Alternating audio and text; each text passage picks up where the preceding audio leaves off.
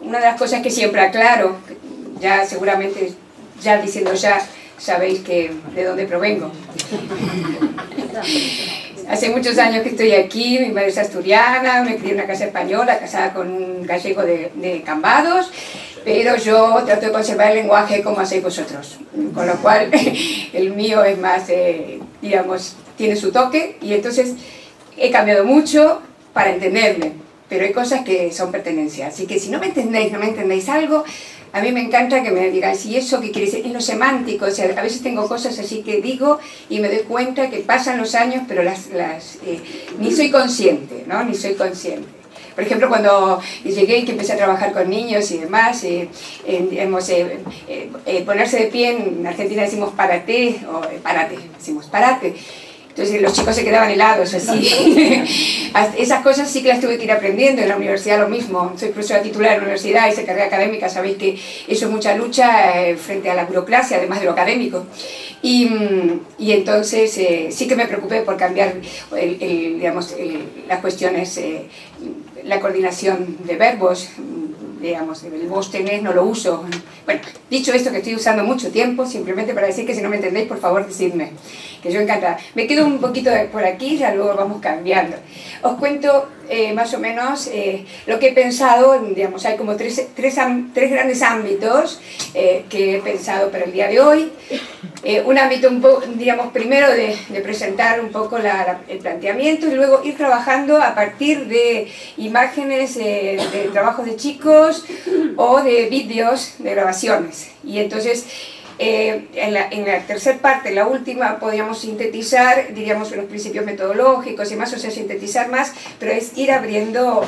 Eh, el, el, número no es eh, del todo favorable para diálogo, pero si todos tenemos, que doy por descontado, eh, que sí, eh, digamos, nos animamos a decir, a preguntar algo y esto, y a mí me ayuda mucho, ¿vale? Quiero decir que que la circunstancia, en un momento también eh, diré, ¿qué pensáis de esto? ¿Cómo lo veis? O sea, eh, tratemos de viabilizar un poco la palabra y de esa manera va a ser mucho más ágil. Yo empiezo siempre con esta pregunta porque en realidad no hay nada que uno pueda hacer que, mm, digamos, nada puede ser que no tenga presente cómo son los chicos, cómo son los chicos de hoy, eh, diríamos, y, cómo nos, qué, necesitan medianamente para, para moverse en este mundo, ¿no? Y cómo es el mundo de hoy y demás. En líneas generales, eh, tengo, tengo alguna publicación que sea al, que le interesa mm, discutir, de otra, continuar la, discusión. Eh, yo mm, no doy muchos rodeos porque no tenemos tanto tiempo y digo, son muy dependientes, son muy dependientes, eh, esperan todo. Es, es, importante que la dependencia genera problemas de todo tipo, porque el chico dependiente no resuelve, trae líos. Con lo cual nosotros estamos más acostumbrados a tratarlos por los líos que hacen, eh, líos, comillas, por los problemas que tienen, y en realidad, eh, digamos, no hay mejor manera de solucionar esos problemas que generarlos, generarles cierta autonomía. Elevar, o sea, si fueran eh, vasos comunicantes, diríamos, para que se equilibraran, es cuando la autonomía es muy baja, los problemas suben y aparecen un montón de, circunstancias que muchas veces las tenemos tipificadas y permítanme, permítanme 20 eh, años en la universidad, me permite, en la, eh, digamos, en, la cotidianidad, de, más que nada aquí, en el, no sé en vuestro ámbito, pero estoy hablando de lo que conozco en muchas universidades, eh, con el País Vasco tengo colegas, pero no, estoy, no, no, me he instalado un tiempo, con lo cual no hablo de esto. Pero en general, evidentemente, Digamos, seguimos enseñando a tipificar problemas. Seguimos enseñando qué hay que hacer con el chico que, hiperactivo, con el chico que tiene este problema. Y entonces uno, yo siempre me he preguntado, ¿esta es la raíz o son las hojas? Y estoy convencida de que muchas veces son las hojas. Y a la raíz hay que ir. Y he trabajado muchísimo en esa línea.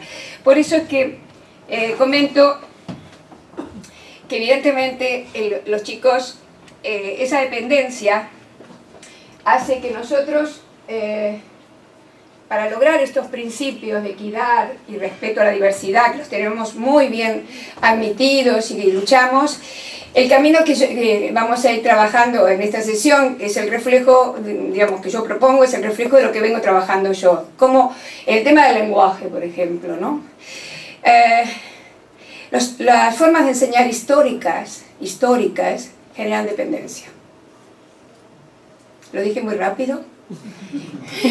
un bombazo a los 10 minutos no es bueno, pero bueno, es mejor ir comentando, porque eh, los chicos tienen eh, que, primera cuestión que genera dependencia, que no todos descubren la combinatoria alfabética en el mismo momento. Con lo cual un montón de chicos son dependientes de que le digan cómo se escribe, pues no saben cómo ponerlo, porque todavía no lo han descubierto, aunque nosotros lo hayamos presentado. En esta, en esta cuestión em, que, que hacía eh, justamente Charo hacía la presentación, yo mm, digamos, soy presidenta de la Asociación Española de Lectura y Escritura, tiene ese nombre simplemente porque, porque pertenecemos a la red internacional y eh, eh, todos llevan digamos, la procedencia, pero evidentemente trabajamos muchísimo con Latinoamérica, bueno, que tenemos, eh, hemos creado la, mm, Fundación de Asociaciones Europeas en Bruselas, quiero decir, que andamos muchísimo en muchísimos lugares, bueno, que redundante, eh, y también lo que significa eh, nuestros, nuestros entornos, ¿no? Y prácticamente desde hace 20, 20, años que no paro en la semana de ir a, varias escuelas o, varios, o varias reuniones de docentes.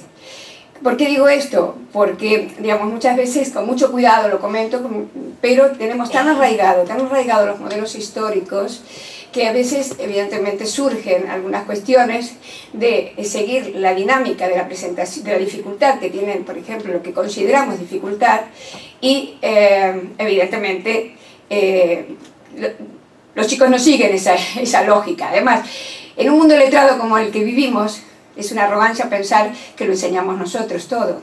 Muchos chicos vienen con mucho saber. O sea, resumo, muchos chicos saben más que lo que les estamos enseñando y muchos chicos saben menos de lo que nosotros estamos enseñando, con lo cual es muy difícil tener esa equidad. Los métodos corresponden a principios del siglo XX los que se venden. por favor, no me entendáis mal, no estoy diciendo que es lo que usemos, usamos todos, digo lo que se vende, lo que hay en el mercado, lo que, la tendencia del mercado. Para eh, ser clara en lo que quiero decir, eh, Santillana hace unos años tenía unos, unos, unos eh, textos para primer ciclo de primaria encantadores, no había ninguna palabra suelta, no había ninguna oración suelta, todos eran textos. Y cuando yo le pregunto, ¿y por qué no lo publica en España? Porque no se vende. Entonces, en vez de tener dos, tres líneas de material y cada uno se va ajustando y vamos haciendo el cambio, porque para hacer cambio necesita a veces un material de apoyo, los editoriales van a, ir con todo mi cuidado y mi respeto, pero mm, mi responsabilidad pedagógica me inhibe decir que las leyes del mercado van a dirigir cómo aprenden los chicos. Con lo cual, las leyes del mercado y la universidad muchas veces siendo responsable de no enseñar a enseñar, disculpadme que sea tan dura, pero muchos chicos salen sin saber enseñar a leer y escribir, con lo cual viene el editorial y le dice esto es y esta es un encanto, porque te dice más o menos cómo ir. Y los que tenemos años nos hemos acostumbrado porque eso está muy legitimado. Pero, eh, digamos, este es un posicionamiento que, que es, eh, es, bueno por dónde empezar. Porque si no diríamos otro método, una forma. No, no, estoy hablando de cómo dar equidad y, aceptar la diversidad. Siguiendo con la misma lógica diría, eh, evidentemente, evidentemente nadie aprende algo sin equivocarse. Pero pues bien, en el lenguaje el que se equivoca tiene problemas en dos minutos. Eh, vamos, esto tenga la edad que tenga. Con lo cual, evidentemente, sería un aprendizaje que le pedimos que más o menos lo guiamos, lo pautamos, lo acompañamos para que no sea problema. La famosa frase, es mejor que aprenda así porque si no, en el futuro es mejor que lo aprenda bien para que no tenga errores. Eso pertenece a principios del siglo XX. El siglo XX avanzó muchísimo en distintas áreas científicas, entre ellas sabemos toda la, eh, plasticidad cerebral, las formas de responder, eh, el error, como, error cognitivo como motor de aprendizaje, y nosotros seguimos... Eh, yo creo que me entendéis bien, espero no ser agresiva, simplemente estoy haciendo un marco que permite ver que en el tema que nos ocupa, si no lo revisamos, eh, no podemos eh, facilitar esa diversidad, por más que tengamos el deseo de hacerlo, seguro que lo tenemos. Pero en, materia de lenguaje, o admito los errores cognitivos de todo lo que sería antes de descubrir lo convencional, durante el tiempo que lo están, eh, lo están eh, descubriendo, o lo admito o no hay diversidad. Y otra cuestión, ¿a qué edad? ¿Lo admito a los tres años? Ay, sí, sí, a los tres yo lo admito, ah, qué bien. No, no, lo admitimos en cualquier edad, independientemente de la problemática que tenga. Yo voy a mostrar trabajos de chicos que a los 10 años todavía estaban viendo cómo era la M separada, porque tenía una, una, discapacidad, en este caso estoy hablando de un hipotiroidismo, que se llama que grave, con lo cual en una escuela, después lo muestro, en una escuela eh, que le respetaban la forma de escribir, eh, recién a los 10 años se pudo, pudo cortar esta cuestión hiperkinética de mover la mano en forma constante y darse cuenta que tenía que detenerse para lograr la forma de una letra. Y en ese caso me acuerdo la M de, la M de Mozart. Mm. La M de Mozart la enloquecía a Valerie, que, que entonces frenaba, ay, aquí, la M de Mozart, Mozart, tenía 10 años. Si esa nena iba a una escuela donde mm, pensaban que eh, enseñando y enseñando y enseñando eh, podía lograrlo, es muy probable que aquí viene otra razón de, la dependencia, cómo favorecemos la dependencia, que es, depende de que hacer lo, que el otro espera, ¿no? No me quedo en este momento, pero lo digo al pasar, que los grandes problemas que tienen los chicos hoy, esa cuestión de límites locos y porque ellos no se quedan, por, por cultura, no se quedan cumpliendo lo que le pedimos, eh, evaden por otros lugares y ahí tenemos, o sea, quiero decir, que esa aparente falta de límite que tenemos, yo lo que digo es exceso de límites mal puestos. O sea, yo divido entre micro, micro límites y macro. Los macros son esos que no puedes pasar. No puedes permitir que esto sea así. No podemos permitir que un chico, si, si sabe hacerlo de otra manera, empiece a rayar y haga lo que quiera. Eso es un... No, no, no. Pero el micro límite sería, no podemos pedirle que lo haga como yo lo enseñé en este ejemplo. ¿Estoy siendo clara? Un poquito, ¿sí? Con lo cual, estoy mezclando, pero creo que estoy construyendo un discurso con vosotros que quiere decir eh, la diversidad para respetarla, diríamos, para que esos microlímites, ¿no? Sería, evidentemente, el proceso de, reconstrucción, en el caso del sistema de escritura, que es lo, lo que miramos en, los, en, los, en, lo que llamamos la alfabetización inicial, ¿eh? Eh, tener en cuenta que vamos a hablar de tres alfabetizaciones, la inicial, la avanzada y la académica. No quiere decir que vayan una detrás de la otra, la académica cruza, puede ver un chico escribiendo con pocas letras y escribiendo sobre los cocodrilos. y es académico, quiero decir, porque sabe cosas, es lo académico, lo, específico, el, mundo, ¿no? Y, y no solamente la escritura así para ver si ponemos las letras en su lugar. Entonces, estaba yo hablando de la alfabetización inicial, ¿vale? Sí, dentro de ese conjunto, el sistema de escritura, en la alfabetización inicial, tiene mucha importancia. diríamos, es básica. Entonces, no podemos eh, respetar la diversidad si pensamos que todos van a un ritmo parejo, porque eso nos, nos juega una mala pasada. No, podemos, no hay diversidad si rápidamente el que no va lo ponemos como que lo atendemos, pero tiene problemas no, no tiene problemas. el problema quizás lo tenemos nosotros que no nos dimos cuenta que sigue su ritmo. Y, él tiene problemas, pero no es el que nosotros pensamos muchas veces. Eh, dejo de hablar de esta parte y ya vamos a trabajos y con los trabajos los retomamos. Resumiendo en este momento, es que para lograr que haya equidad y respeto, diríamos, a la diversidad, eh, la reconstrucción del sistema de escritura que hacen los chicos eh, tiene etapas primitivas. Tiene etapas primitivas. Y a lo mejor lo tiene unas edades en que perfectamente está con el conjunto, pero por la causa que sea, porque está alejado del mundo letrado por X causa, porque tiene una, una, dificultad cognitiva que lo lleva a alejarse, por lo que sea, la reconstrucción tiene su ritmo. Si nosotros no respetamos ese ritmo, no estamos atendiendo la diversidad, por más que expresemos que estamos de acuerdo. ¿Mm? Entonces, eh, simplemente aquí hago, hago un pasado, tengo varios materiales, vamos a ver, eh, simplemente yo pongo de, de, fondo algunas cuestiones y sigo, no, no, me quedo leyendo esto, eso está allí puesto, ¿no? Eh, la diversidad tiene muchas razones para, ser, para expresarse, ¿no? Y evidentemente nosotros la atención a la diversidad no tiene sentido sin el derecho a la igualdad, ya hemos dicho. Esto yo creo que esto no, necesito yo decirlo, estamos todos de acuerdo, simplemente lo pongo eh, de fondo, y diríamos, eh, y aquí diríamos cada año tiene una forma personal de expresar sus emociones, el mundo emocional. Vamos a hablar, quiero, antes de avanzar, quiero hablar de estas cuestiones. La, siguiendo lo de anterior, digo, el sentido de yo puedo o yo no puedo. Si un chico siente, una chico chica siente yo puedo, porque nosotros le permitimos escribir a su manera, evidentemente se siente fortificado y es, curioso, y es curioso, y sigue indagando por sí mismo. Si nosotros, muy bien, muy bien, pero aquí te doy el modelo, el chico hace esto, ¿no? Y las emociones que tiene, yo no puedo. Con un chico de yo no puedo, no avanzamos. El chico tiene que salir de lo que nosotros hacemos en yo puedo. Eh, quizás voy a mostrar un vídeo cortito que me parece que nos puede ayudar. Comento dónde, de dónde viene el vídeo. Eh, en Galicia y en Asturias, yo hago un programa desde hace varios años donde voy a aulas y em, trabajo con distintos con distintos grupos. Yo no quiero saber ni qué están dando, ni cómo son los chicos, ni nada. A veces me dicen, mira, este chico, no, no, no me digas nada. El cuerpo me cuenta las emociones que tiene. El cuerpo me dice si él cree que sabe o no sabe. El cuerpo dice si en el momento de escribir quiere hacer pis. Eh, si se le quedó sin, sin, la, sin, la, mina del lápiz y tiene que sacarla. Si agarra justo dolor de estómago, por ejemplo, ¿no?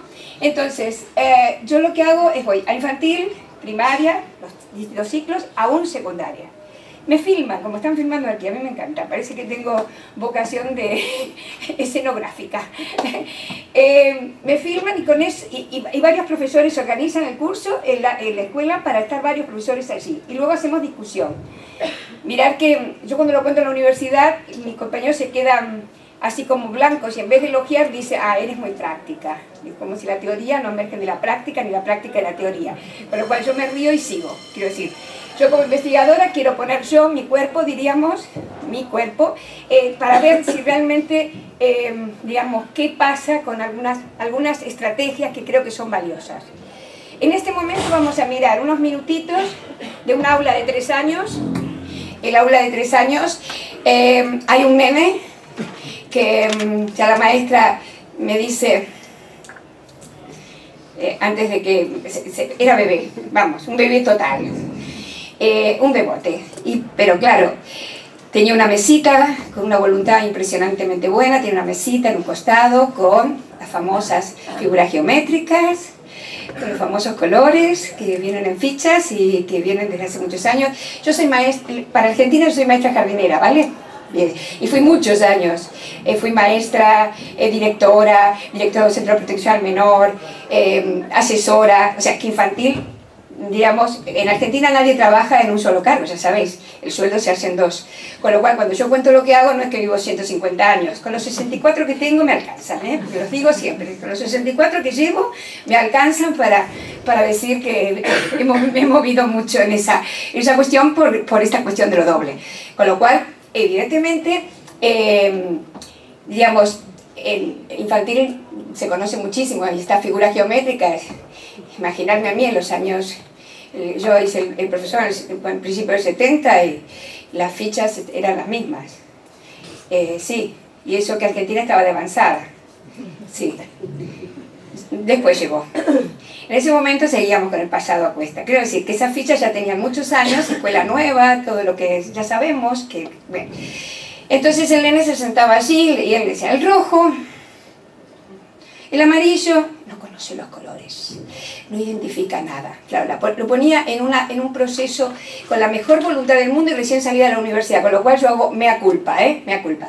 Y entonces digo, eh, claro, este crío, ahí mirarlo, en, en, una situación de observación y encima separado de los chicos con buenas intenciones, quiero decir, con excelentes intenciones eh, pedagógicas y personales. Entonces yo le empiezo a contar un cuento con los, a los chicos y ella ya cuando yo le digo algo a él, eh, ella ya me dice, yo ya le hago señal como que no se preocupe. Y en un momento dado yo lo que hago, en estos, eh, ya lo aprovecho para decir, porque lo voy a repetir en otros eh, momentos de la charla. llegar al mundo escrito requiere haber generado un discurso. O sea, a veces a los chicos les decimos rápido, escribe, es muy rápido. crear un discurso en torno a lo que se va a escribir, conversar, eh, leer algo y, hacer lectura comentada, seguro que lo hacéis, esto, yo simplemente comento que se suele ir al mundo escrito sin que el chico tenga idea de algo que quiere, que quiere poner, o sea, lo hemos hablado nosotros, o sea, muchas veces lo hacemos, oralizamos, pero hay una circunstancia interesante que es, eh, digamos, eh, primero, y en este caso lo hacemos, es, es importante, es eh, normalizar, la palabra podría ser normalizar, eh, mm, poner en evidencia la diversidad. Con lo cual vamos a escribir en lugar común. Y ahí es bueno que alguien quiera escribir y que, que sabe, normalmente en estos, en estos eh, momentos a veces vemos que el que sabe mucho, que es buen alumno, entre comillas, a veces no quiere hacer nada porque quiere ir a seguro y esto lo desequilibra y es bueno desequilibrar, porque sin desequilibrio no hay aprendizaje. Entonces, evidentemente, eh, lo que yo hago, eh, diríamos, es eh, si alguien empieza a decir, no, así no se escribe, no, no. seguramente tienes razón que sí se escribe cuando más parecido a los grandes, ya lo descubriste, pero déjalo que lo descubra él. Claro, si no lo descubre, tranquilo. Y entonces escribimos lo mismo de distintas maneras. Ahora, digamos, veo en el vídeo vemos un poquito y legítimo y, bajo esa intensidad el que cree que sabe todo y dice, él no sabe nada, no le digas nada a él, que no, no sabe, luego yo, ¿no? Eso pasa. Eso, cuando pasan esas cosas, no depende de los chicos en, solitario. En las prácticas nuestras inciden en la forma de aprender. Y seguramente le hemos dado mucho, mucho hincapié a ese chico que sabe mucho, chico, chica que sabe mucho. Entonces, obviamente los demás no saben, por lo cual está en esa postura. Y eso crea, además de dependencia, eh, digamos, el camino de entrar a la dependencia es el mundo emocional. Yo no sé, yo no puedo, mm, eh, eh, yo no, intento, porque la autonomía requiere intentar y atenerse a las consecuencias. trabajar por consecuencias. En nuestro, en nuestro medio, y permitirme hablarlo porque me crié con una madre asturiana, quiero decir que tenemos más cultura del premio, el castigo, el esfuerzo positivo, negativo va en contra de la autonomía. Una cosa es que yo le diga al chico, no, no, tenemos que terminar antes de ir al recreo, con lo cual hay que terminar, consecuencia. Distinto que yo diga, si no terminas, no vas al recreo. Dependencia. Porque lo dices tú y yo tengo que hacer caso. No, no, tú tienes que ser el que, eh, digamos, yo admito, soy la autoridad y digo, no, no, eso tiene que estar terminado, si no, no vamos a poder ir. Si no, no vamos a poder ir, o si no, no se va a poder ir antes de terminar. Estoy siendo clara con el ejemplo. Ese condicional hace que el chico quiera escaquearse eh, constantemente eh, y ver si conviene o no conviene. Quiero decir, los chicos en general saben quién tiene poder, quién no tiene. Entonces hay que mostrar consecuencias, no poder. Y la consecuencia va de manos de la autoridad, no del autoritarismo. La autoridad es muy buena, el autoritarismo es desastroso. Y cuando uno le dice, si no, si no eh, eh, como no terminaste, no vas al recreo, es autoritarismo. La, autoridad es decir, esto tenía que estar hecho, así que ahora vamos a terminarlo, porque esto hay que terminarlo. Espero que me entendáis bien, en un minutito ya vais pensando seguro alguna cosa que... y entonces, ¿y qué quieres decir? Soy encantada, vale, pero me dan lugar a mí a aclarar lo que quiero comentar. Entonces, volviendo, volviendo al caso de este niño, eh, él estaba, diríamos, yo también le doy palabra, eh, estaba diciendo el proceso, ¿no? que lo aplico en toda, dependiendo de qué, qué características el esquema es.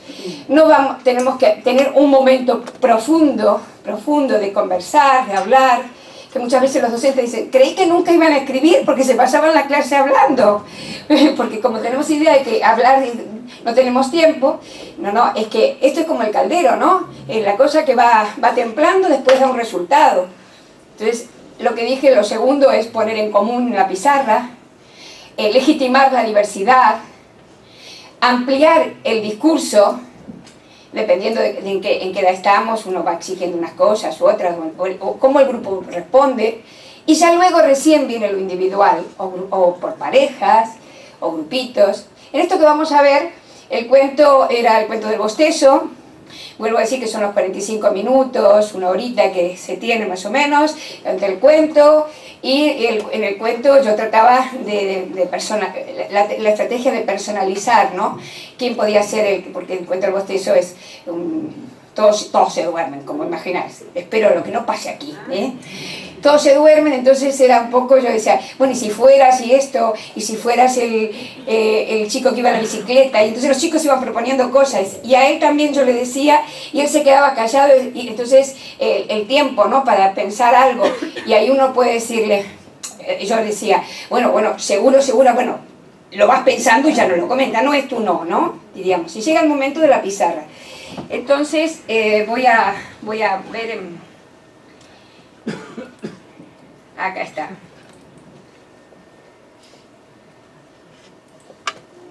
Es un, un ratito de esa afirmación.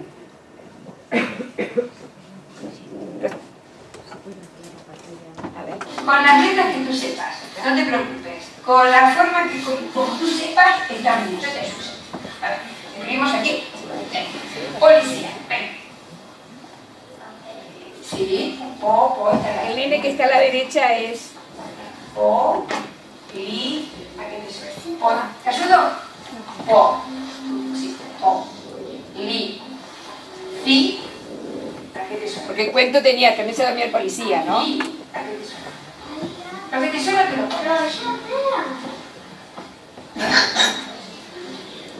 ¿Te suena algo?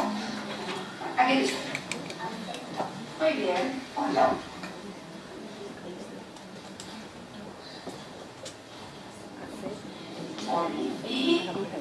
Ah, no, se ve bien. Ahí, muy bien. ¿Se ve bien? Muy bien. Sí, se ve, se ve. ¿Falta algo? Yo lo digo entera. Policía. Claro. Muy bien. Esta no es la nena. El nene viene ahora, ¿vale? Este es el muchacho. Muy bien, muy bien. Muy bien, esa la cara, la cara. Otra más, otra más. Muy bien. ¡Ay, qué bien!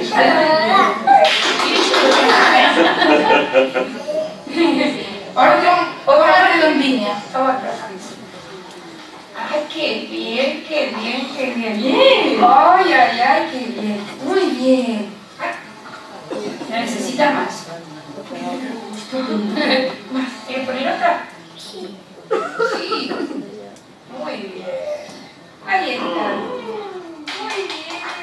¿Te parece si lo escribimos, cada uno hace su cuento y lo escribimos en una hoja? ¿Te parece? ¿Dónde estaba Carla?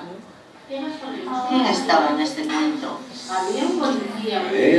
Había. La maestra compañera. La maestra de y otra nena, dos nenas que se encontraban aquí. A un policía. Venga, escribe. Policía.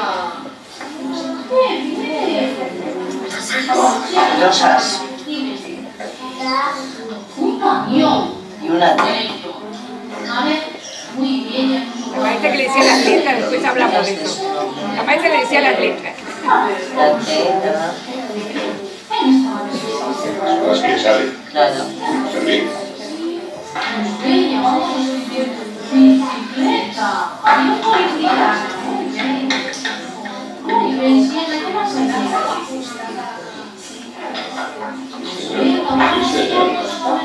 Vaya súper cuento va ahí, ¿eh? ¿Y quién más? Estaba el policía.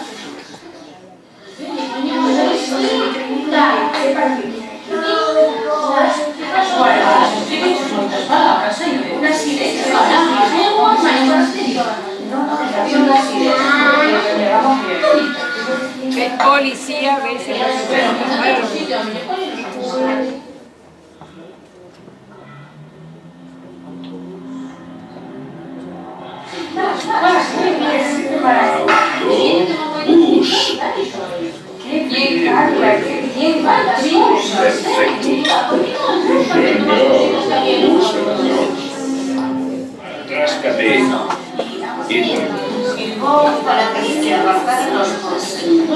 Vale, vale, porque hoxe até como está facendo. Bueno, Roina, aí hai moitas, eh? Cantas cousas pasaron este conto. Madre mía. Ese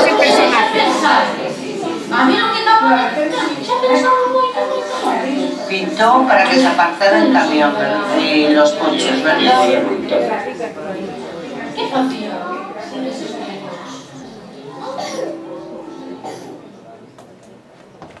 Bueno, eh, bajamos esto y... Perdona, ¿de cuántos años decías? Tres años. ¿Cómo? De tres, de tres. Eh, puede haber algún chiquito eh, que esté ya, puede haber algún chiquito que ya esté cumpliendo los cuatro, porque estamos en, yo creo que fue en la primavera, ¿vale? Con lo cual podemos tener chicos de cuatro. A ver, eh, ¿qué visteis? ¿Me ayudáis? A ver. Sí. Lo más alto que puedas. Yo creo que es un pensamiento muy constructivo, porque está construyendo su propio cuento. Claro, claro, están, están construyendo un conocimiento, sí, sí, están, están construyendo y están, fijaros la diversidad, ¿no? Eh, que ah, eh, tenemos que hablar de que en ese aula eh, la maestra permitía usar mayúsculas, que no, no es nada más ni nada menos, ahora lo hablamos luego, nada más ni nada menos que tienen identidad y están descubriendo el sistema de escritura y los chicos, o sea, tienen forma individual, ¿no? Con lo cual es más fácil pero cuando llegan los libros no, o sea, quiero decir, estas irreverencias que tenemos los adultos, ¿no? Todo esto si te doy la hoja, sí, pero aquí en el libro tienen, los chicos tienen que estar... Y luego hay tres o cuatro chicos que, ah, diríamos, eh, habéis visto que empiezan a construir el sistema eh, eh, alfabético convencional, que podemos decodificar. No quiere decir que ya son alfabéticos sueltos, pero están ahí descubriendo. Y hay otros chicos que están, le están sonorizando algunas sílabas y están poniendo.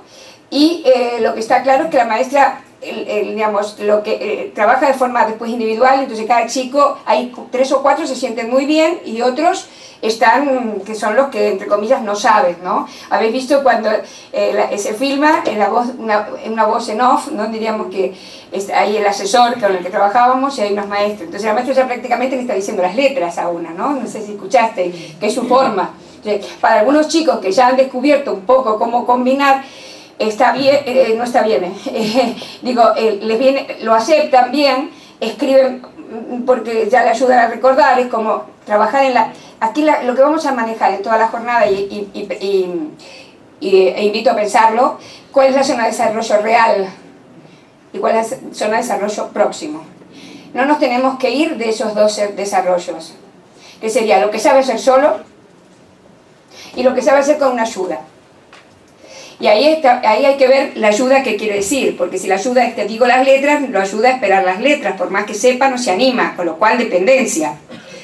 Y luego, por supuesto, la maestra se- eh, eh, la- eh, quería que fuéramos porque dice un montón de chicos no quieren escribir. ¿Cómo, cómo van a escribir? Porque están constantemente pensando, ¿no? Entonces, lo que dices tú, claro, están construyendo su proceso, están reconstruyendo un, un conocimiento convencional que no es natural, es arbitrario.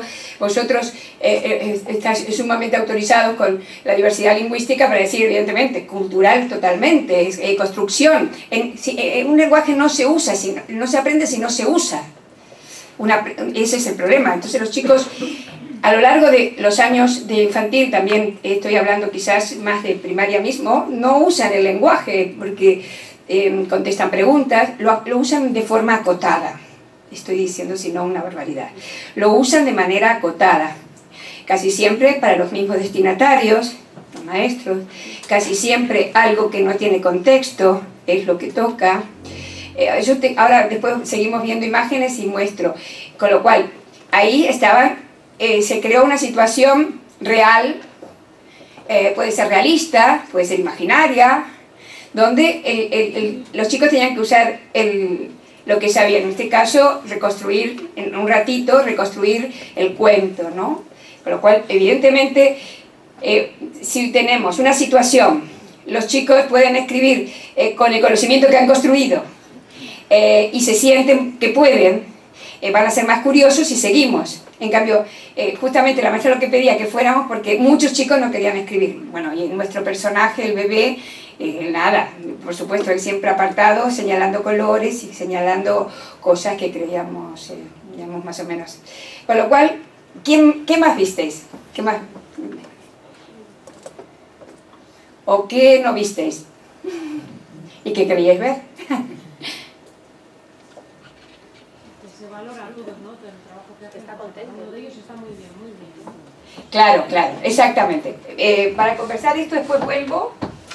Para conversar hacemos lo que corresponde. Pues yo ahí me quedo por, por el micrófono, pero yo creo que sí te escucharon, ¿vale? Pues vuelvo a cambiar. Sí, ¿decías?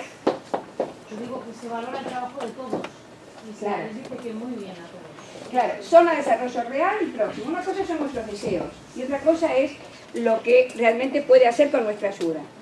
El problema que tenemos en educación es que le tememos al error y nos vamos a un desarrollo real, eh, perdón, a un desarrollo muy alejado, no próximo.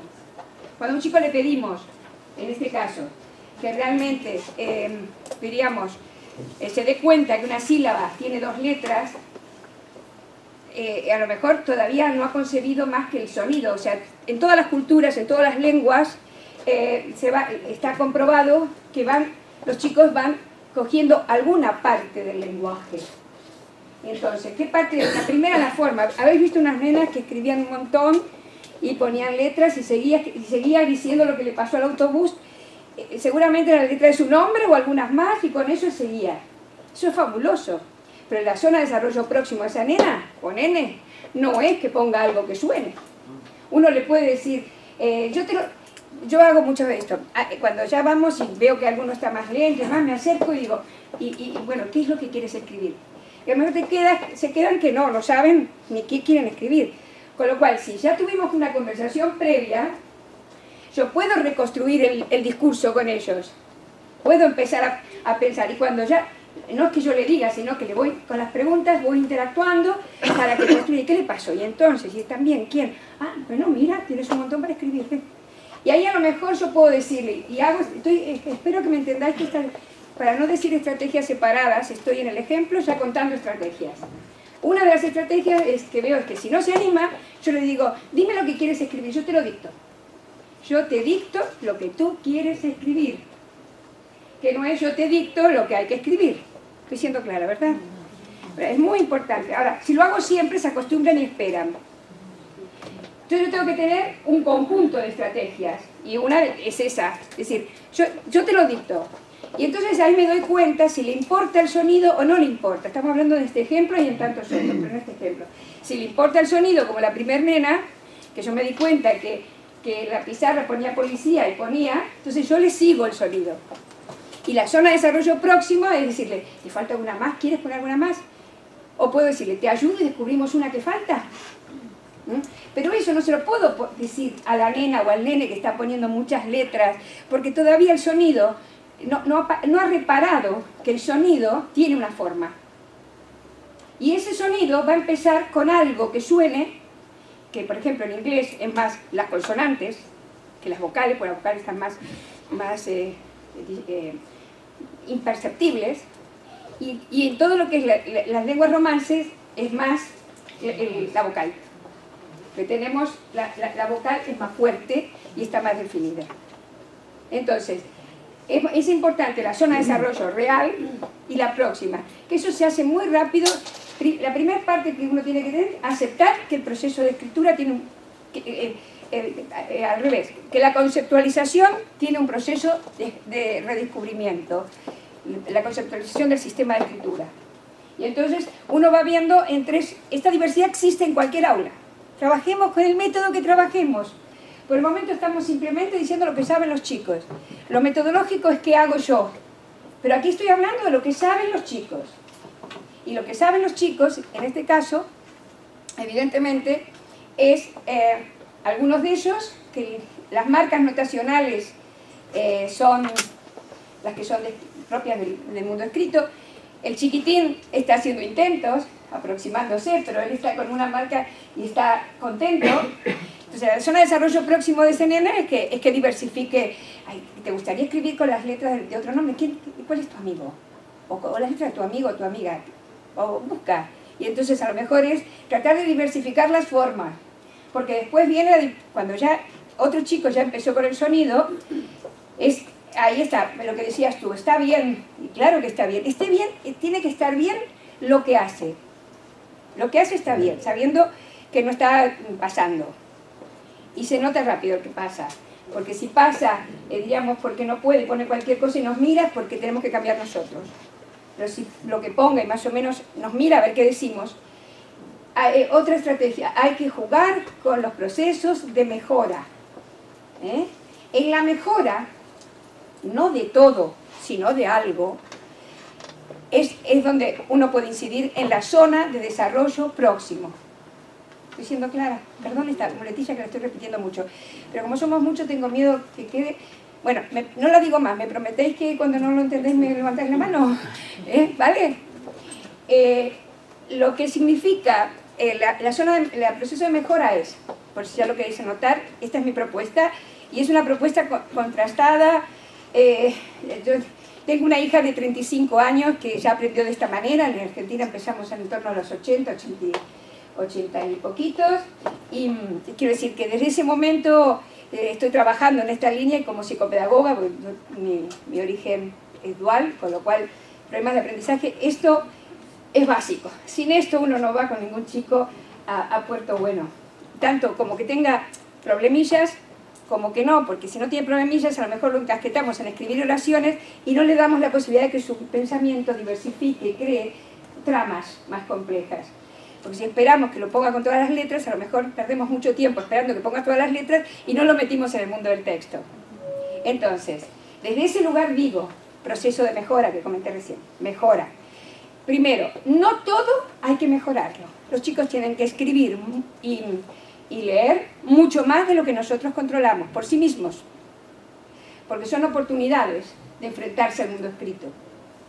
Para que eso ocurra, no, no me tengo que preocupar porque todavía no domine el código. O cuando son más grandes digo otras cosas, pero estamos en alfabetización inicial en la sesión de hoy, con lo cual me estoy quedando ese- en ese periodo. Entonces, ahí tenemos, las mejoras diríamos, no es de todo lo que produzcan, tienen que producir mucho más de lo que yo puedo controlar. Si no, yo tengo una tortícolis y ellos no aprenden, porque estoy ahí tratando de que todos. Para eso a lo mejor, la mejora, segundo, a lo mejor hay que hacerla en pequeño grupo, tal como la escritura en algún momento, que en pequeño grupo o en forma individual, esto no, no hay que hacer en estas edades en, est- en esto que vimos, ahora vamos a ver otro vídeo en segundo de primaria, ve- vemos otras cosas. Pero en esto que vimos, eh, no habría que hacer una mejora, eh, diríamos, eh, en, la pizarra para que a, a leccionar cómo se escribe policía, por ejemplo, o lo que fuere, porque el, otro dice que no, que no, no lo sabe. Con lo cual, eh, vuelvo a las mejoras. Las mejoras, lo que dije, no tienen que producirse, tienen que producir ellos más de lo que nosotros mm, controlamos. Eh, diríamos, los, mm, los pequeños grupos o la forma individual es interesante. Más adelante, cuando ya sean más alfabéticos, y la mayoría, diríamos, eh, podemos hasta poner una proyección y sobre la proyección hacer cuestiones y mejorar otros aspectos. No, mm, digamos, yo me estoy quedando en la alfabetización inicial, en lo que vimos, pero ahora lo que vamos a ver es alfabetización inicial y ya hay otras cosas. Eh, la cuestión de mejora, diríamos, eh, vamos por el tercer punto, tiene que tener en cuenta imprescindiblemente la zona de desarrollo próximo. Y ahí podemos hacer, eh, a ver, ¿qué es capaz con mi ayuda? Ahí es lo que comenté. Ahí vamos a ver varios aspectos, si queréis abrir como distintas llavecitas. Podemos mejorar el sistema de escritura, podemos mejorar la coherencia del texto,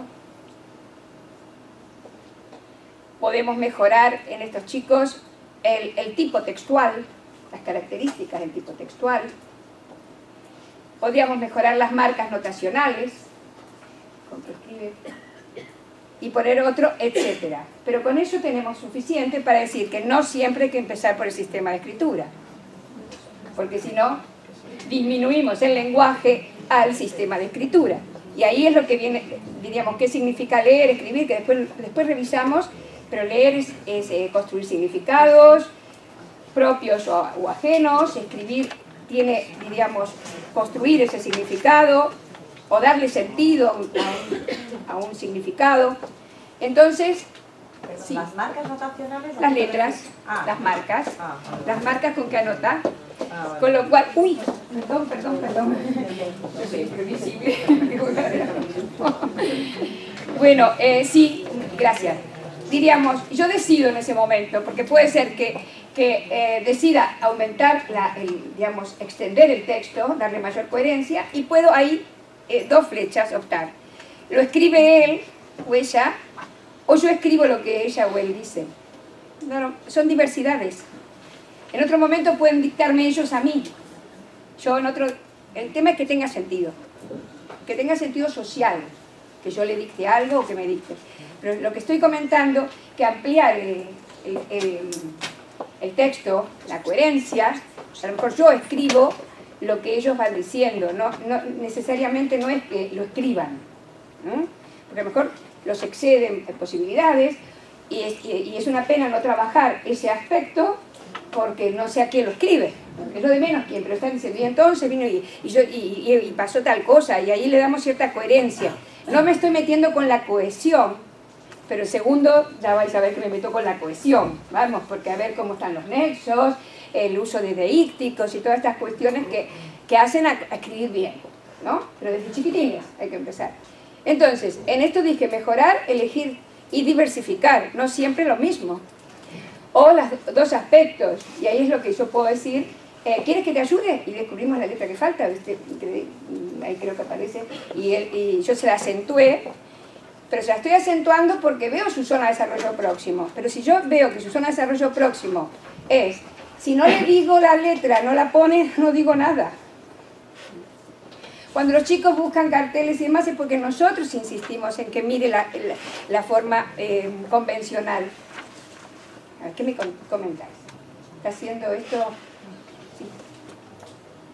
Había una mano, tú dijiste algo, pero había otra mano o alguien empezó a hablar respecto al vídeo, otra, otra, me pareció, ¿sí? ¿Puede ser? No. Vale. Bueno, eh, esto lo dejamos, está en proceso. Pasamos, dije recién de segundo, lo voy a, vamos, a, vamos a ver un vídeo de, de segundo de primaria y comento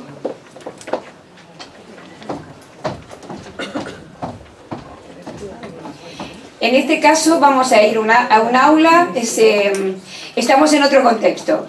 Eh, dentro de mis, eh, trabajos y demás, mmm, lo que voy a mostrar es parecido a lo que vosotros mmm, conocéis seguramente, que, que es poner, digamos, participar en un seminario, una formación, hacer cambios en el aula, y en este caso pusimos la cámara una semana en un aula, en un aula de la provincia de Jaén, en un lugar donde eh, la escuela concertada había dado muy, buenos, muy buenas propuestas y la escuela pública quedó como gueto. ¿Mm? Estas cosas que tiene la vida.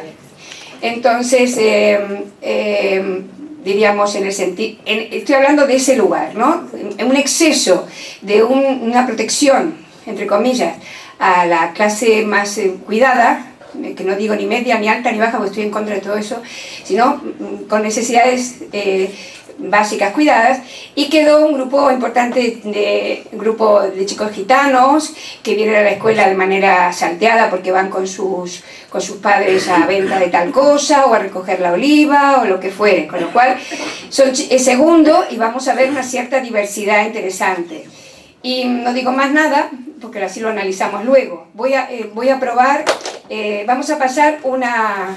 Hay varias, pero vamos a quedarnos, eh, yo elegí una cortita para poder dar lugar a ver más materiales y demás, pero mm, si es necesario luego vemos otra. A ver, voy a... Esto lo bajo.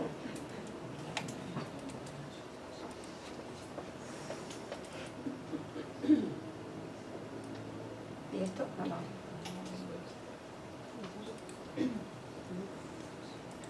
Él lo dejó preparado. Soy yo la que quizá no lo estoy encontrando.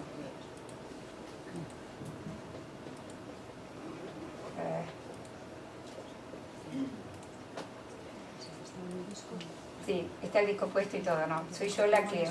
No, no te preocupes, vamos a ver... Eh, es este.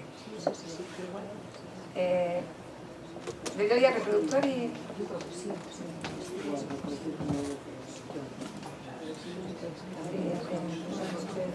Vale. Creo que le sí. Está descargando. Más de un reproductor de- No, quizás yo le di de baja sí, sí.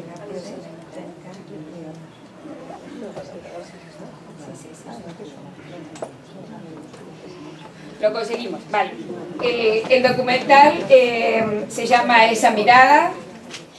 Eh, vino un chico que está- estaba en ese momento haciendo la- el grado de dirección de cine y como sabe de mis, mis andadas por, por la innovación, eh, siendo novio de una de mis alumnas, cosa que vino a buscarme a ver si le podía orientar cómo hacer un, un documental que mostrara eh, que chicos difíciles pueden aprender. Dio justo conmigo que, que cuando hoy, por ejemplo, en la radio estaba escuchando la mañana que, que salen estas cosas que nos van a evaluar de acuerdo a los resultados de los chicos, eh, no sé si escuchaste, seguramente que sí, porque está en todas las radios hoy, y en radios y medios. Y hay un profesor que, en este caso la cadena SER, decía, bueno, si me dejan elegir la escuela, sí. Ah, claro, muy rico, muy rico el hombre. Entonces, eh, claro, eh, yo justamente soy defensora que los chicos, eh, es verdad que tienen un capital cultural mm, lingüístico bajo en su casa, porque encima no usan, usan muy poco. Y uno, yo rápidamente digo, ¿y qué capital cultural, eh, lingüístico, eh, comunicativo genera el aula? ¿No? Lo cuento antes de, para que después miréis un poco con ojos de, de lo que la propuesta de esta profesora, porque realmente es verdad, ¿qué, duda cabe que un chico está en, digamos, estamos- seguimos hablando de la equidad, ¿no?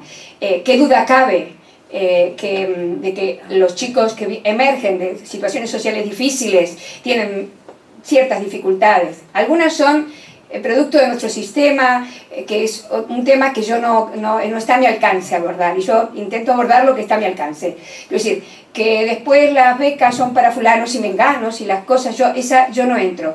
No es entro en lo particular, pero digo que no es el momento de entrar. Entonces, lo que sí entro es a decir que eh, evaluar es observar transformaciones.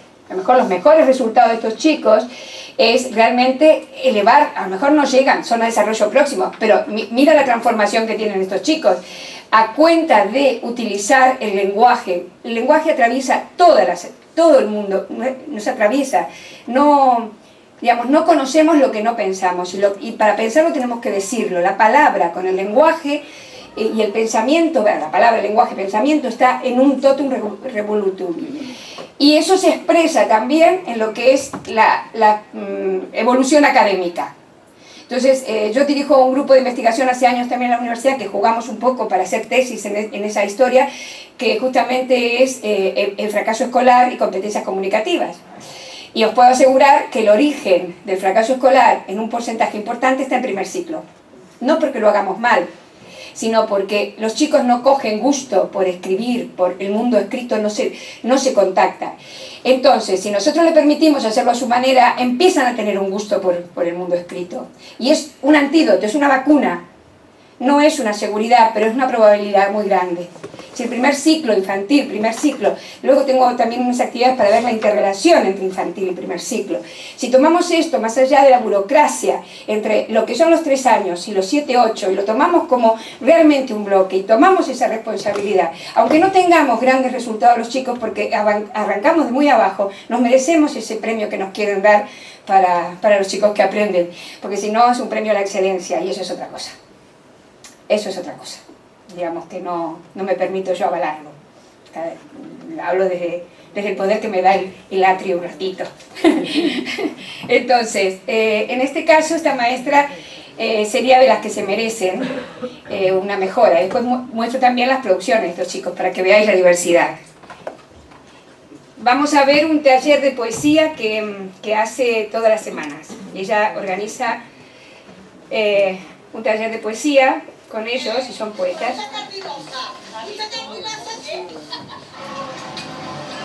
Ahí quizás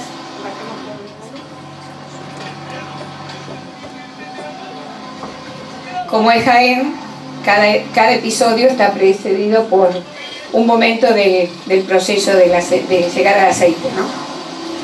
La- de la oliva al aceite. Simplemente como, como símbolo de proceso. Triste guerra, si no es amor la empresa. Tristes, tristes. Tristes armas, si no son las palabras. Tristes, tristes. Tristes hombres, si no mueren de amores. Tristes, tristes. ¿Entendéis esta poesía? Pero eso no porque dialogando, no con la arma, con la arma matando a la gente. Tenemos que repasar la de la semana pasada, ¿acordáis? ¿Cuál era? Son, ¿qué es una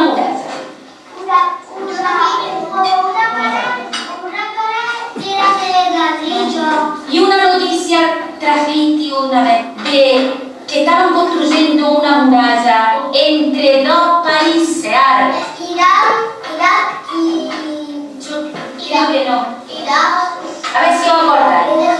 Entre Israel y Palestina. Palestina. Mirad a este nene, mirad a este nene. Mirad al nene que apareció recién, que tiene peladillitas. Después le comento. Su papel de identidad. Están impidiendo que la gente pase de un sitio a otro libremente y para casarse y para quererse tampoco. Podemos hacer nada de cosas bonitas. En tu corazón, ¿qué muralla tienes en tu corazón? A ver. De paz. En tarde muralla de paz. ¿Qué. De mi amigo. De tu amigo, muralla de tu amigo. Qué precioso la muralla. Para hacer esta muralla, tráiganme todas las manos. Los negros sus manos negras, los blancos sus blancas manos. Una muralla que vaya desde la playa hasta el monte, desde el monte hasta la playa, allá sobre el horizonte. Tú, tú, tienes una rosa y un clavel.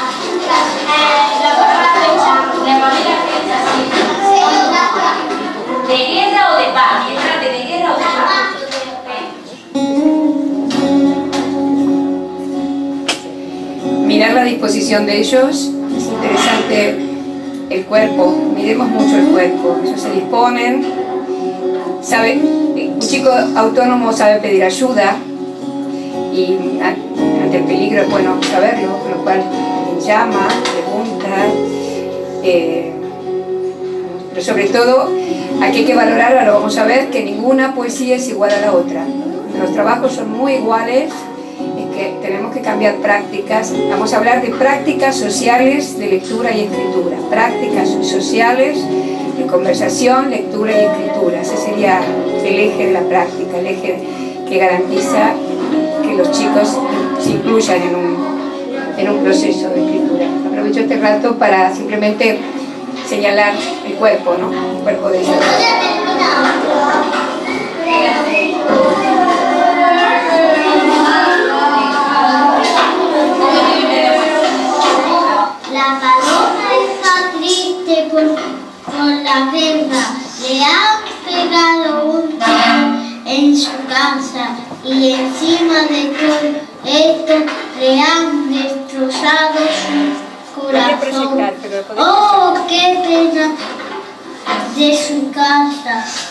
Y también de corazón. El horizonte está lleno de flores, con una, con una muralla llena de hormigas muy bonita.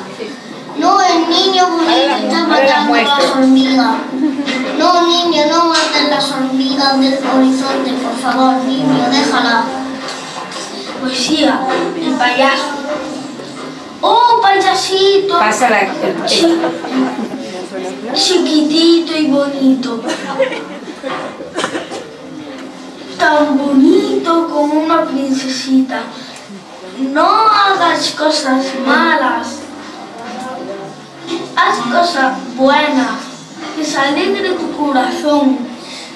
Ya. La guardamos en nuestro libro de poesía.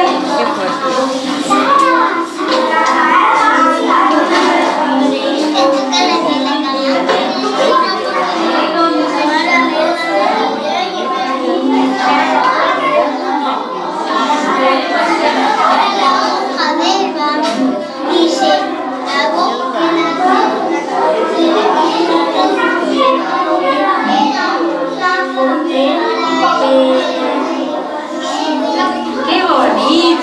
¡Qué qué- Esa recuérdame la que la hace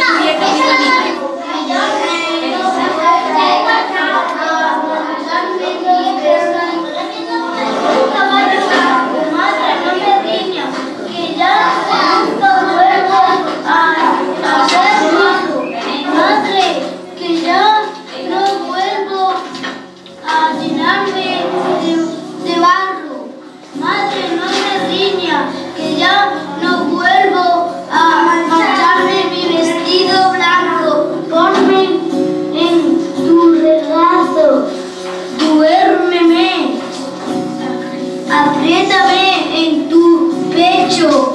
Anda, madre mía, ya no soy malo.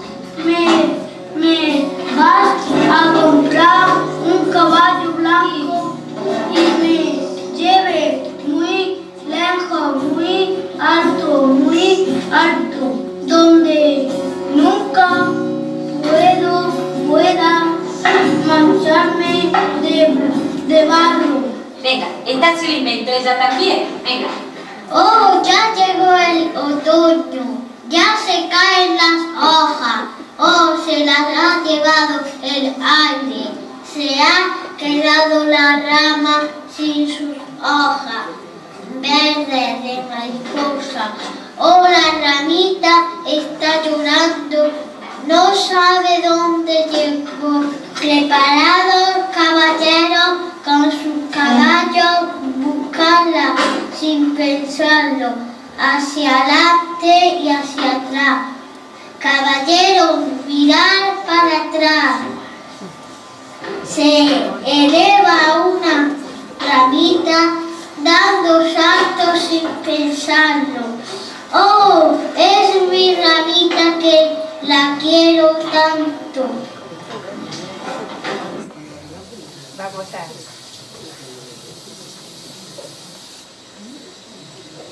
Eh, La, la corto, corto y luego... Voy a buscar, eh, antes de, avanzar, voy a buscar el- las, las cartas. Esta- estas, eh, dije cartas, pero son poesías. Eh, También tengo las cartas. Eh, esta- estas son las que estáis viendo, los que visteis pasar, eh, algunas en papel, son estas mismas. A ver, ahora hablamos, pero quiero que eh, antes de hablar detalles, quiero que veáis todos, porque si no uno los visteis y otros no. Yo lo mandé simplemente en un deseo de que la vieseis en papel también, para que veáis más o menos la intensidad de, de escritores que son estos niños. Esa es la primera, recordáis, la paloma está triste, es una, un, una cría que está en una etapa, eh, obviamente, de gran descubrimiento del mundo escrito. Eh, no es una, diríamos, alfabética eh, absolutamente, eh, no se va a equivocar en nada, eh, todavía logros eh, ortográficos, separación de palabras. Tendríamos que ver cómo produce un texto académico. Este es un texto de corte emocional, de corte poético, con lo cual cuando uno analiza, es bueno después decir, bueno, vamos a ver en otras circunstancias. Pero en estas circunstancias, fijaros que le pone sus signos de admiración, le pone sus emociones. Y luego tenemos aquí al muchacho del horizonte, está lleno de flores. ¿no? Veis que este crío está en una etapa alfabética más, más básica que la, nena, la producción de la nena anterior nos muestra. Eh, diríamos, todavía está eh, inseguro, veis que cuando un chico borra mucho y demás, pero bueno, inseguro frente a darle el fin a la, a la poesía, tampoco digamos que está muy inseguro para escribir oraciones simples, creo que él está produciendo una poesía con la emoción que, evidentemente, estos chicos hace un año y medio, este es el mes de enero, hace un año y medio que están produciendo desde primero de primaria, un año largo, que están produciendo todos los días eh, una poesía, están leyendo poesías, eh, otras cosas leen y hacen, ya lo veremos, pero estamos hablando que funcionan como lo mismo, de la misma manera que si fuera un club mm, dedicado de, poesía, digamos, de poetas que se unen, poetas y poetisas que se unen a hacer poesía, a leer, a buscar lo que les gusta, o sea, eso es lo que la, la, práctica social se caracteriza por reeditar con las condiciones del aula, que no son las mismas, prácticas que se dan en el resto de la sociedad. Con lo cual, si nosotros vamos a un taller de poesía, seguramente que terminaremos también haciendo poesía, disfrutando, leyendo unos a otros, interpretando, por supuesto con el toque, el, toque escolar, esa cuestión de, fulanito la palabra, y digamos, tiene toques escolares, pero es que no que tenemos que reproducir exactamente lo que se da, sino tenemos que crear prácticas propias de la escuela, propias sociales, interactivas, comunicativas, pero que tengan un asidero en, la cultura. Entonces, él, digamos, está construyendo para damos su... Habéis visto que tienen su libro de poesías, van guardando su poesía. Este es el que más me interesa a mí ver. Eh, esta maestra, aquí tenemos la fecha, esto está eh, en el 2004, eh, y esta maestra empezó en el año 99 con nosotros en un seminario, y entonces los primeros años de, de su formación era lo que en mi jerga se dice, era una peleona. Todos los días que nos encontrábamos, y voy a dejarle que escriban así, pero si yo, yo soy de los movimientos de renovación pedagógica, ¿cómo voy a dejar que estos chicos escriban así? Quiero decir, ¿de dónde? Yo también evalúo las, las formaciones, en este caso docentes, ¿no? Entonces, estamos, han pasado cinco años en este momento, imaginaros todo lo que pudo haber pasado antes, pero ¿de dónde arrancamos? De negar que los chicos pudiesen escribir con eh, situaciones, digamos, eh, mm, primitivas, con, con, estructuras primitivas. Este nene, si lo veis, eh, todavía, primero tiene una hiposegmentación, típica de, digamos, él no, la convencionalidad de la separación de palabras, no pasa nada, pero es bueno saber dónde está. Esta es la primera producción, esta no es la revisión, la mejora, nada, esta es la primera producción. Entonces uno tiene que decir, Ahí es lo que hay que aprender a decir, ¿dónde está? ¿Qué es lo que está haciendo? Entonces, si nos remitimos a los cuatro ámbitos que dije anteriormente, eh, diríamos, si nos vamos a, lo que significa el sistema de escritura, eh, todavía está en hiposegmentación y todavía tiene restos de una escritura de corte eh, más silábica, silábica alfabética. Si veis, como una princesita dice, no hagas cosas malas, y cuando eh, dice eh, a la derecha, en la cuarta línea, dice cosas buenas, veis que dice, pone la C, la C y la A. Quiero decir, él está en un periodo de transición hacia lo alfabético inicial, que significaría que más o menos, o estaría en alfabético inicial, donde respeta, por ejemplo, em, eh, consonante vocal, consonante vocal, y, ya está avanzando un poquito, o sea que... Pero eh, la hiposegmentación, si no se la valoramos, aquí haría que todo se vería fatal, y lo importante es ver que este chico, igual que los demás, con su cuerpo nos mostró que él cree en él. Alguien que crea en él, en sí mismo, va a intentar eh, seguir. De hecho, no sé si lo visteis, eh, luego aparece, porque el, taller lo que tiene es un, es un momento de busquemos eh, poesías que nos gustan. Habéis visto que le viene una, chiquita a decirle a la maestra, mira esto, y entonces, ay, recuérdamela para, para tenerla en cuenta.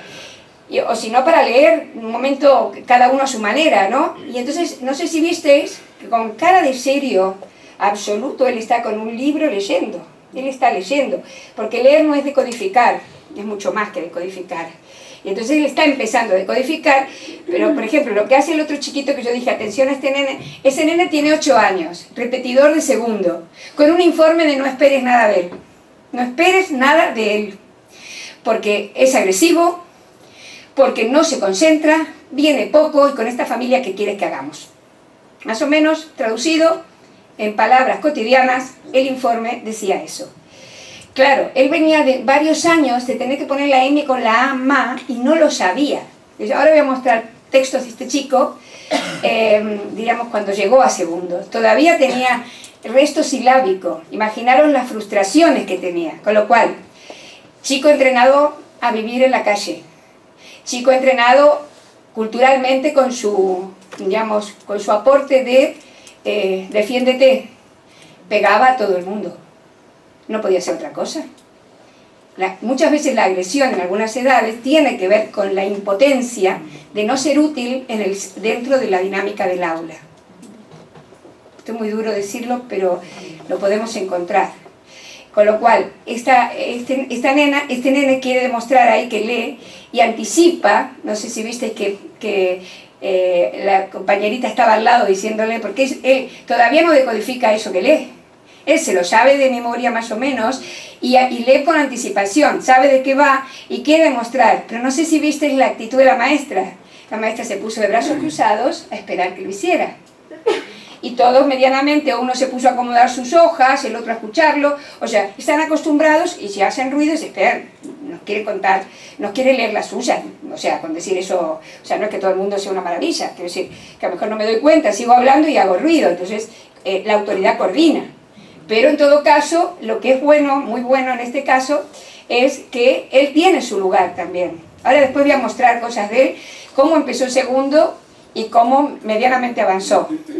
Porque este nene ponía, ahora no quiero cambiar porque, eh, digamos, si no voy para otro lado, pero enseguidita eh, cambio, lo muestro, vais a ver que ponía una letra o dos por sílaba, cuando empezó la repetición de segundo un chico hijo de, padre sifilítico, con su problemática, pero sobre todo con un, con un, con un, digamos, un abandono social importante y, con, una, y con una, un alejamiento del mundo escrito. A ver, creo que tengo una más. Sí, esta es otra. Que esta no, no aparece en la filmación.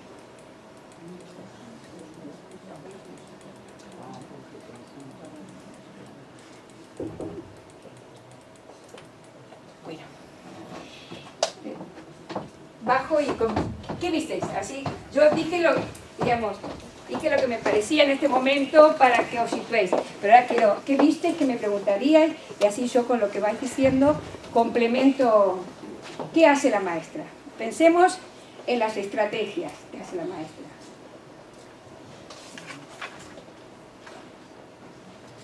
¿Por dónde empieza? ¿Qué está haciendo ella? Leyendo tengan la edad que tengan, hay que leerles. Porque si no es un ejercicio, muchas veces queremos ver cómo leen ellos, pero no de, eh, nosotros tenemos que modelar cómo se lee un texto poético, cómo se lee un texto eh, de corte informativo. Eh, no es lo mismo. Ella es lorquiana, ya lo habéis visto. vamos, es lorquiana total. Sus chicos son lorquianos, así que escriben, ¿no? ella, ella es lorquiana. Pero bueno, cada uno es lo que es. Quiero decir, eso está genial, pero si uno no, es... Para la poesía no se me da de esa manera, pero leer poesía sabemos, aunque no se nos dé con, la fuerza y, el calor que tiene esta mujer. Pero bueno, eh, esto es, la estamos viendo a ella, pero lo que estamos diciendo es, ella les lee, tengan la edad que tengan. Y los chicos pueden volver al texto que les leyó la maestra, tienen pistas, buscan, tienen inquietudes. Es importante. La primera estrategia que ella nos muestra en esta secuencia es que ella les lee. ¿Y qué les lee? ¿Es otro tema? Poesía, pero ¿qué poesía? Miguel Hernández. ¿Poesía hecha para niños? Poesía. Para niños, no niños, pero de calidad. Poesía, calidad. No esas cosas que a veces...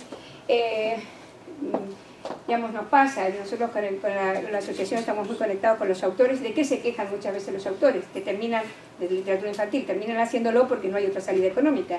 Que hazme algo para trabajar la tal cosa. Y entonces ya inventamos una situación de un niño bueno y un niño malo y no sé qué. Vamos, eh, que sería la pedagogización de la literatura. Y eso, si lo queremos usar alguna vez, pero si vivimos de eso, no vivimos en la literatura, vivimos en una pseudo literatura. No los, metemos a los chicos en el mundo auténtico. Con lo cual, lee, le lee, interpreta, pone toda su, su, su fuerza y le lee literatura, que ella considera que tal, o sea, vamos a ver, ella tiene unos principios que los podemos ver sin preguntárselos, si le lee eso a los chicos de 7 años, a chicos que socialmente tienen su dificultad y está hablando de las manos juntas y todo esto, ella, en vez de hablarle de seamos buenos, llevémonos bien, no nos peleemos, porque aquí nadie se pelea, porque aquí, ah, se pelean, dése un beso para que aquí nadie se pelea. Eso es un autoritarismo más grande que una casa. Porque después que te peleaste con alguien, el beso te cae, ¿no? Que no sabes que tienes que besarlo. Y entonces, a veces lo hacemos por una cuestión de organización.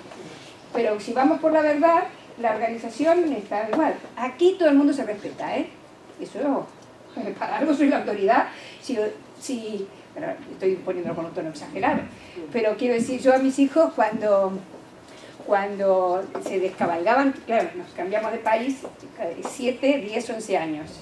Yo retomar, retomar mi vida en Madrid, la familia en Barcelona o en, o en Galicia, y nosotros en Madrid, con lo cual, o ellos respondían a ciertas cosas. Yo me acuerdo que, eh, lo mismo digo en el aula en casa, y bueno, a ver, si yo me tengo que meter a organizar con, quién va a hacer la cama y quién va a juntar los, los cacharros de la cocina, ya organizo todo. Quién sale, quién no sale, como consecuencia, porque ya que tengo que organizar eso, entonces me decían, no, no, no te preocupes, nosotros lo organizamos rapidísimo. Digo, sí, lo reorganizáis, porque organizado está. Bueno, cierro paréntesis y digo, que a lo mejor ese tono parece muy autoritario, pero en el fondo estás diciendo, a ver, hazte responsable. Si- En el aula yo que he hecho muchas veces, me acuerdo eh, de, algunos chicos que hacen líos. Pues mira, vamos a salir. Si tú no te empiezas a... Vamos a ir paseos y demás. Si no te empiezas a controlar un poquito, yo no te voy a poder llevar porque no, no vamos muchas personas. Con lo cual, eh, si tú empiezas a controlarte y aprendes, es genial. Yo ya no te controlo, no estoy más, te puedo, te puedo llevar. Ahora, si tengo que estar encima tuyo, no te puedo llevar, porque te, estás descontrolando mucho. Esto no se soluciona solamente poniéndole cuatro personas más al, chico difícil. De lo que se soluciona es que él tome conciencia que se tiene que autorregular, porque hay unas consecuencias. Yo, cuando digo autoridad, no quiero decir eh, ejercer algo desmedido, sino, eh, a veces el tono, recién lo dije, soy yo la autoridad para... No, no, vamos a decirlo en otro tono. Yo soy la autoridad que sabe medianamente cómo proceder con algunas acciones. Y entonces, esos son los grandes límites. Ahora, el pequeño límite sería ya pre- pretender cosas que, están fuera del alcance de, de algunos chicos, ¿no? Bueno, entonces volvemos a que la maestra le leyó y le, diríamos, él leyó literatura, ¿qué más hizo? Venga. Comentar, comentar. ¿Qué entendéis de esta poesía? Que es, de alguna manera, es empezar a conversar. ¿Qué entendéis de esta poesía? Ahí podemos ir de muchas maneras, pero no sería un cuestionario, quién era, cómo era, qué decía, sino qué entendéis. Una pregunta que dé a la apertura, al diálogo, ¿no? Y entonces sí, conversar. Ahí pudo, no sale en la película, eh, porque tenemos, la tengo entera de la semana, pero estos son selección de momentos. Uno ahí puede tomar nota también, como hacíamos con los pequeñajos de tres. Uno puede tomar nota de lo que se está diciendo. Yo el otro día en Galicia, bueno, esto ahora voy a mostrar de Galicia del 5 de octubre, eh, que estuve en un primero de primaria, ahora muestro, y estuve en un sexto. Y en el sexto hacíamos un, un esquema eh, eh, continuo. Veíamos algo y lo íbamos poniendo, agregando. Esto lo podemos hacer con estos pequeñajos también. O sea, esta nena dice, la guerra está en todo, la guerra, sí es poesía, fenomenal, pero sí, como un efecto. Pero si lo organizamos como un texto que no es poesía, que no quiere darle ese, efecto, a lo mejor ella lo está diciendo, la guerra todo, o sea, la guerra.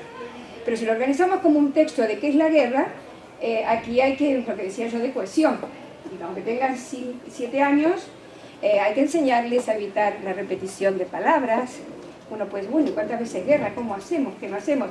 Eso en la pizarra viene fenomenal, sea digital, no digital, sea como sea. Entonces ahí los chicos empiezan a tachar, poner, agregar, y eso les ayuda a algo básico que no lo aprendemos si no nos ayudan a verlo, que es a que tengamos un texto bien cohesionado. Eh, digamos, ¿qué nexo ponemos? ¿Y cómo podríamos decir esto? Yo también puedo decir, ¿de esta manera o de esta otra queda mejor? Ah, de esta otra, pongámoslo de esta otra manera. Estoy hablando de estrategias de mejora, que decíamos los cuatro aspectos.